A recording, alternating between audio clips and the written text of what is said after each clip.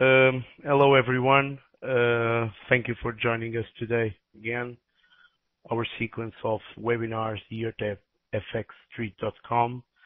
Um, Thank you for attending, and thank you to fxstreet.com to giving me the opportunity to speak. Uh, For those who are here today, uh, my name is Telmo Pinto. I'm the founder and director of market operations at Intuition Trading Group. For those who aren't familiar uh, with Intuition Trading, we are a team of professional traders dedicated to provide simple, real-time, unified trading solutions for investors. Okay? You can see more info at fxstreet.com services page or at our webpage, intuitiontrading.com. So today we are going to, uh, sorry, it's important to see the disclaimer, okay? Um, any presentation here is not a solicitation to invest and should be considered your financial situation suitable to your prior make any investment, okay, or entry in any transaction, okay? Uh, you should make yourself aware of all risks associated with forex, foreign exchange trading, and seek advice from an independent financial advisor if you have any questions or concerns. So, resuming our last webinars, we, we were talking about uh, Renko bars, okay? It's our mainly short um, trading system. Um, For those who did not assist prior uh, webinars, they are recorded, and you can see them at fxstreet.com. So Today, we are going to talk about the market sentiment, okay? This is not well known by the by traders, but mm, in my opinion, is a very important tool and and for me uh, is my primer tool uh, to define levels of entry and exit the market, okay, or confirmation uh, the entries and exits the market, okay. So what is market sentiment? Market sentiment, well, each and every trader will have their own personal explanation as to why the market is moving a certain way, okay. It's going down, it's going up, okay.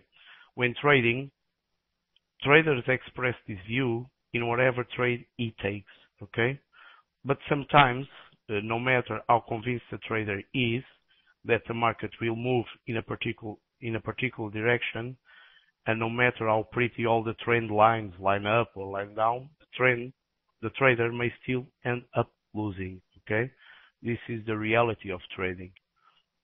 Um, a trader must realize that the overall market is a combination of all views, ideas, and opinions of all the participants in the market.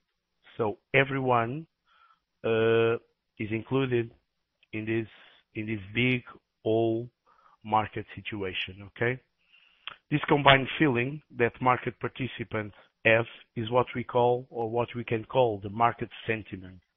Okay, it is dominating by emotions or ideas that the majority of the market feels best explain the current the current direction of the market. Um, this is is the best uh, definition, okay, of market sentiment, okay? If most traders are willing to pay a certain price for the for the for the pair, in this case the forex market, the price tends to go up, okay, because there is more buyers, or if there is more sellers, the the pressure uh, will make the pair go up or go down, okay? So how we develop a sentiment-based approach, okay? As a trader, it's our job uh, to gauge what the market is feeling, okay? Are the indicators uh, pointing towards bullish conditions? Are the indicators pointing bearish conditions? Okay. Are bearish to the economy? Are traders bullish to the economy? We can tell the market what we think it should do, okay? But we can do is react in response to what is happening in the market. Okay? I used to say that we don't need to know what market is going to to do tomorrow so we can profit for markets. Okay? that is not important. What important is what is market doing now and how we how we can react to the current market situation. Okay? Um, the market sentiment in all markets is defined by volume, okay? But as we all know, unfortunately, uh, the forex exchange market is traded over the counter, okay? It doesn't have a, centralized market. So this means that the volume of each currency traded cannot be easily measured, okay? We cannot easily manage, measure, uh, like on stocks, okay, or like on futures, okay? But we have other tools that can help us in order we can reach this market sentiment, okay? One of them is the COT, or Commitments of Traders Report, okay? This tool is a good tool, uh, but the problem is that a bit lag because we only have the COT with a past week, okay, uh, volume.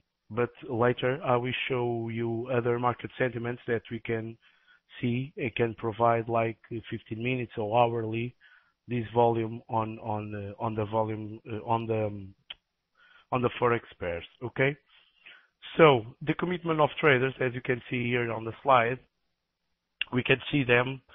Uh, we can open the address. Okay, this address cftc.gov market report dash commitments soft traders bar index dot htm.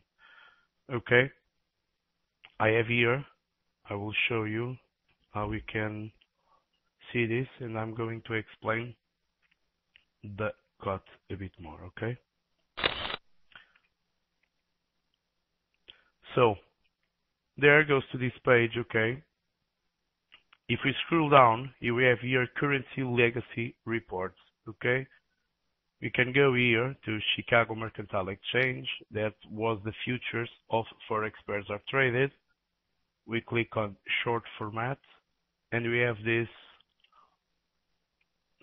this huge okay this huge report. But no problem because we can scroll down or scroll up and let's see here the euro futures so I can explain you how to identify or how to determine the COT okay? So everybody seeing here the slide is this area okay Okay, great. Okay. So like I told you, uh, one of the major problems with the Forex market is the lack of the volume indicator. We don't have that volume indicator. So, uh, since there is no Forex exchange such as the Nikkei or the New York Stock Exchange, like I, told, okay, volume statistics on the entire market are not available. So the COT report tracking the currency and commodity futures allocations of the major speculators and commercial hedgers, okay? Like I'm going to explain, is an excellent substitute for the volume indicator, and it should therefore be an inseparable item of any technical trading scheme, in my opinion. Okay, so let's examine examine the the, um, the COT report. Okay, this is a common COT report. In here, you have the open interest. Okay, the open interest describes the amount of open futures contracts that are being held. In other words, uh, in other words, is the total volume of open contracts in the market, but not the transactions, okay? It's only the total contracts, okay? Uh, here, the reportable positions, okay, this area. The reportable positions are the positions held by institutions that meet the reporting requirement for the CFTC. Okay? These are the major players in the CBOT, and their choices are usually backed by hordes of analysts and their studies. Okay? These non-reportable positions, okay, cover everyone who do not suit the above criteria. Okay? So why I told earlier, okay? Um, and they are also termed like small speculators okay, of reportable positions, non-commercial non-commercial includes all actors who do not possess any interest in making use of the underlying currency or commodity, such as hedge funds, brokerage firms, investment banks, and other related firms. Commercial open interest is created by firms that have the desire to receive or deliver the underlying. This is desire to deliver the currency they are buying or selling, okay? Thus, the rules played by the two categories of, of traders is quite different, okay? This is the non-report, but mostly the speculators and in this area you can think, okay, they want to deliver the currency they bought or sell, okay? So let's uh, move on here, okay.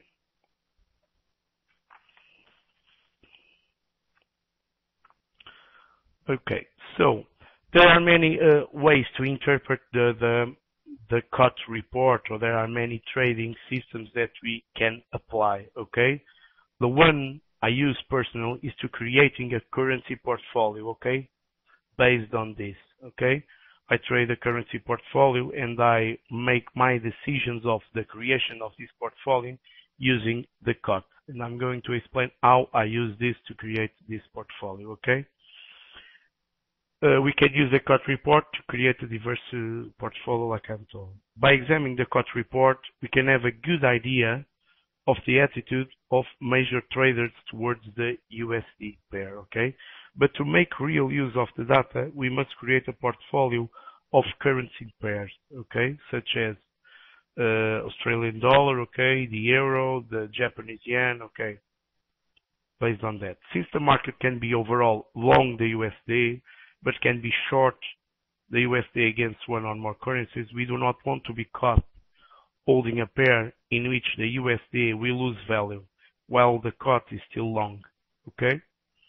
If, for instance, we have the change of open interest, okay, change from from long to short, okay, from one week to another, we don't want to be caught on this, okay, because we know that most players on the market are ex uh, expecting a drop of the pair, okay? In this case, on the euro, are expecting a drop of the pair or a long on the USD pairs, okay? Long on the USD and short on the other crosses. Okay? For instance, we will short Australian dollar and Euro USD. The carry trade is negative and we are long on USD and Japanese yen. So we'll have to manage the currency pair ratios in such a way that the total interest received will not exceed the Fed rate. So the Fed rate. And uh, why we do want this? Because all we want to do is to gain from the appreciation on the USD pairs while limiting the volatility caused by the carry trade. Okay? By making our position interest neutral, okay, we will and we expect be able to ride through such disruptions, okay? We are edging our portfolio in a way that if a pair or a couple of pairs turn around, okay, from the from the open interest, we can protect somehow the total portfolio in order we didn't get caught by a fast move and all the portfolio lose a lot of uh, of uh, of money. Okay, so this is our way to use the COT report. There are many other ways. Okay, there are traders that exploit reversals in positions of greater portfolio, okay? Um, and that way is why is why told earlier, uh, seek on the on the um, on the open interest, okay? And the change from the long from the short, okay, or here the non-commercial, the long from the short, and have a big change from one week to another, and we can interpret that as a reversal in the market, okay? But the main problem of the COT is really the delay, okay? The delay of the of the report because we only have this report once a week, Okay? So based on the COT, is this this is a way I use to create the portfolio, okay? Although we have other tools that can help us see in a better way the market, okay? The current market situation, okay? And those are provided, uh, for instance, uh, by Oanda, okay? Oanda is a brokerage.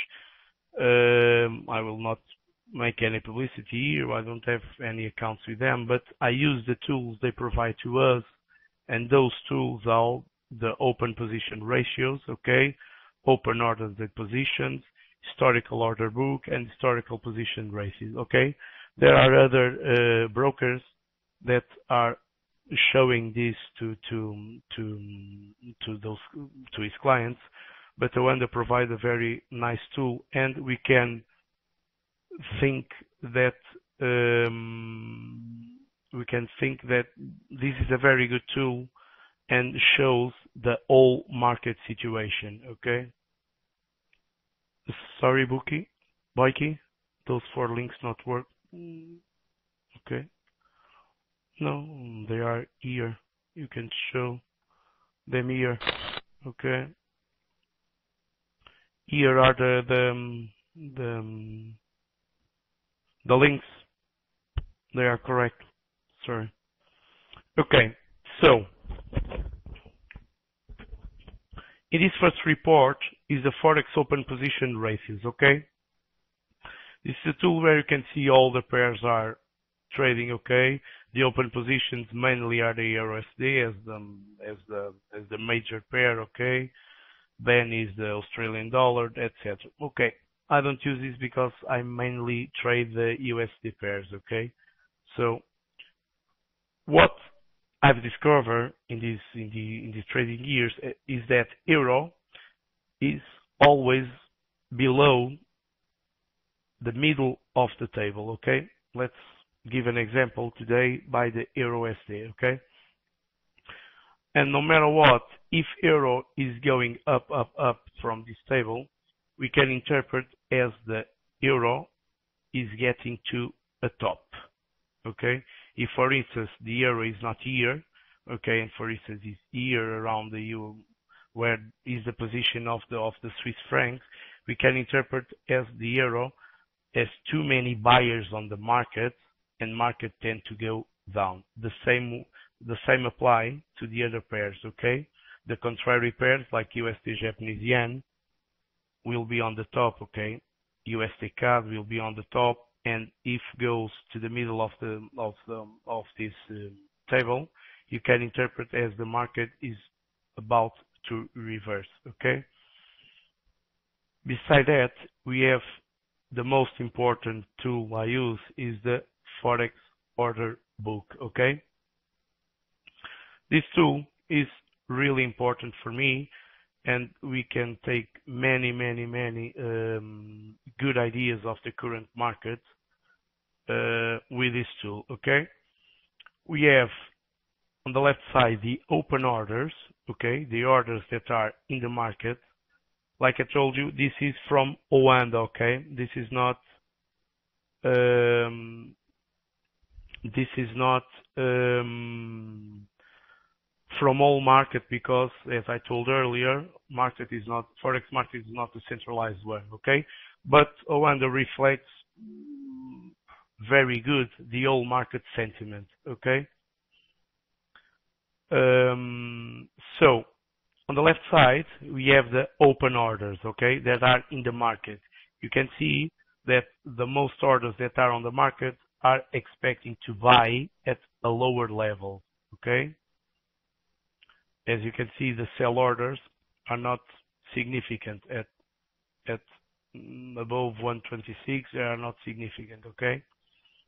On the left, on the right side, sorry, we have the open positions, okay? And in the open positions, what we see? We see that major major investors are short on the market, okay? And what we can deprehend this, or, what we can think with this. Okay, most people are short in the market. Uh, I think in a contrary way, okay? If I see too many shorts in the market, I think market will pull up. If I see too many buyers on the market or on the long side, I think market will go down. Because you know that institutions, banks, brokers always seek to profit from the retail client losses, okay? Um and this is a very good indication or contrary indicator, like I used to like I used to say, it's a contrary indicator, okay? Important level here are important levels, sorry, are this, okay? This is now. This is the bar from uh, this last hour, okay? So here, what we have, we have some buyers here above 125.50 area, okay? And we have here, this orange is the holders that are on market and are on profit, okay? These sellers here are currently on profit. On this side, we can see clear where are the stops, okay, of those entering orders, okay? We know that from these buyers, 125.50 area, those stops are around 125.20, 125.10 area, okay? This blue here are mainly the stops from these buyers, okay? So imagine we are long at the market, um, we can expect or we we want to put our stop below this level. If we put this level, mostly the institutional, the brokers will go and catch these orders in order to stop, okay? In order to stop the the current uh, trades on the market. Mike, uh, our open positions. Uh, well, these are the positions like I explained, these are the positions from the Oanda's Forex order book. This is from Oanda, okay? And these are institutions, our retail clients. All trades that are made on Oanda are here in this in this in this order book, okay? No matter they are investors, institutions, broker, okay? All are here. So and this is very good, like a like I told earlier too, I want to enforce that this is very good tool in order we can see the whole perspective of the market, okay? So we have here this. So this order, these long orders, most stops are here. So if we if we are long, okay, we want to put our stops below this level because most of the times this level are going to be hit by the market, okay? These stops are going to be filled, okay? Okay. So in other hands, we have these levels, 125, 20, 10 area. On the other side, we have here the stops, okay? This blue Uh, are the are are the beginning of the stops from these short positions here, okay? We have short since, okay, this show 122.50, okay? These are the stops. Um, they are at 125.80 area, more or less, okay? If price go to 124.80, we can expect that these buyers will be clean, okay? They will close these positions, and then we'll have what? We'll have these tops putting more or less 125.50 area, okay? Then we have this point of stops and again, mm, more up, okay? But this is a way to interpret the market, and this is very good tool, okay? We want to look at these levels, okay? The stop level, and we want to look at how many people are short or long in the market. If you see too many, we can go here to the to the cumulative orders, okay?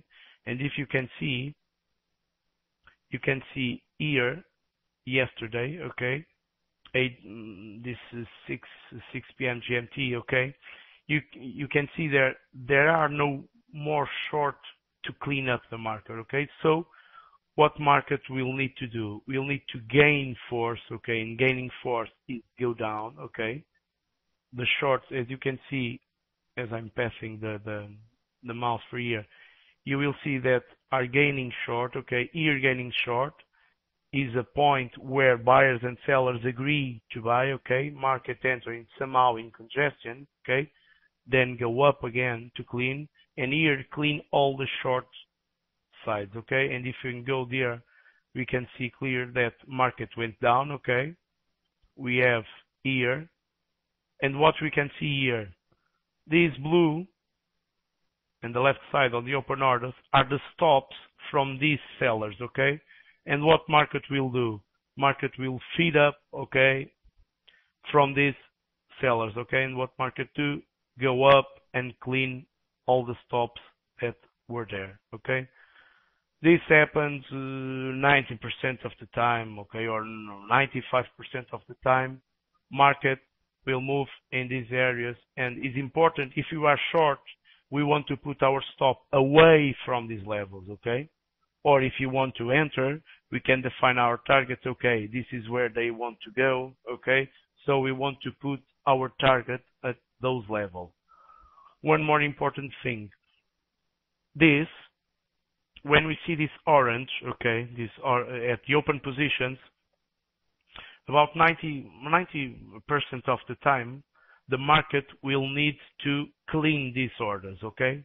When I say clean, is uh, close these orders, or by targets, or by by stops, but most likely are by stops, okay? And you can see this is market clean here was a change from sellers to buyers from this bottom at 125.50 area, okay? And then market went down again. So what we can expect now from this interpretation of the market or year arrow is that market can go up, okay, to 125.50 or market can go down and clean these stops, okay, from these buyers at 125.20, 125 125, 10, 10, 20 area, okay? So for today, uh, I add more two other tools, but I prefer explain that with more slowly tomorrow. Uh, we will continue tomorrow with the market sentiment indicators, and we'll we'll do a conjunction of these tools, these market sentiments, with the Renko bars that we told to in the last two webinars. So we can define our entries based on these levels, okay? And our targets we can define based on these levels, okay? So, so again, thank you very much for um, for your attention. Thank you very much for attending. Uh, tomorrow we'll continue talking about market sentiment indicators. We'll finish this any questions you have, you can contact us at intuitiontrading.com or at the email. Uh, we can go to our uh, to fxstreet.com and see our our web page there. Um, so thank you very much for your attention, um, and hope see you all tomorrow. Thank you. Bye.